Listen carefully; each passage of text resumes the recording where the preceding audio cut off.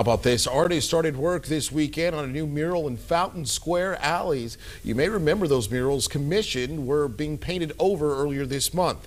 Square Cat Vinyl started a fundraiser to have the work redone with some new work to add to it. They raised more than $15,000 for it. Eight artists started work on the paintings, the walls this weekend. Arts and culture neighborhood. It was there was going to be something there sooner or later, no matter what happened. But it's great that it's happening like this because it creates that sense of community and that unity amongst artists.